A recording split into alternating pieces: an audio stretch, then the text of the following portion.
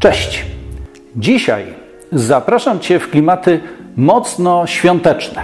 Zrobię nalewkę z pomarańczy, która doskonale wpisuje się w aromaty i smaki świąt Bożego Narodzenia.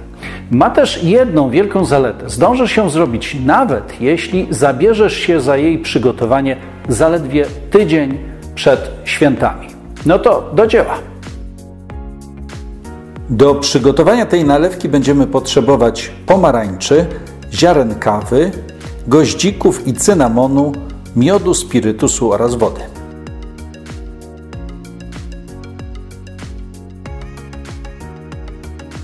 Pomarańcze najpierw zalewam wrzątkiem i na chwilę je w nim pozostawiam. Potem dokładnie je masuję. Teraz w każdym owocu robię kilkanaście nacięć. Wkładam w nie kawałki cynamonu, ziarenka kawy oraz goździki. Teraz wkładam przygotowane pomarańcze. Na razie odstawiam słój, aby zająć się pozostałymi składnikami. Za chwilę przygotuję płyn, którym zaleję owoce. Miód łączę z lekko ciepłą wodą, aby się w niej dobrze rozpuścił. Potem dolewam spirytus. Taką mieszanką zalewam pomarańcze w słoju.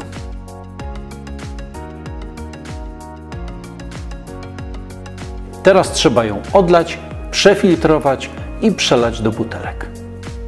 Nalewkę odcedzam przy pomocy sitka. Na razie chodzi tylko o to, aby razem z płynem nie wpadły owoce, goździki i ziarna kawy.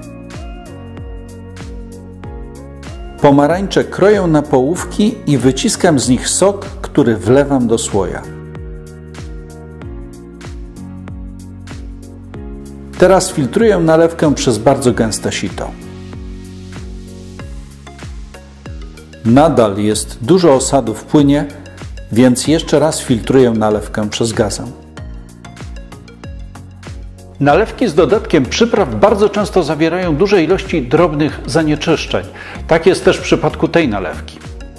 Zobaczcie, w tym słoju mam część nalewki zlanej wczoraj z natosadu. Resztę przelałem do wysokiej butelki, aby ten proces jeszcze raz powtórzyć. Popatrzcie, ile osadu zebrało się od wczorajszego dnia. Znów zlewam płyn z nad osadu. Resztę filtruję przez bardzo gęste sito. Teraz jest ostatni moment na poprawki smaku. Być może za sprawą mniej słodkich pomarańczy nalewce, moim zdaniem, brakuje trochę słodyczy. Wobec tego rozpuszczam jeszcze dwie łyżki miodu w pół szklanki lekko ciepłej wody i dosładzam nalewkę. Teraz jest idealna. Przelałem ją do szklanej beczułki z kranikiem.